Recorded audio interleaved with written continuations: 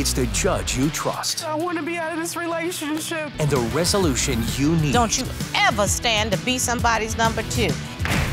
Divorce Court.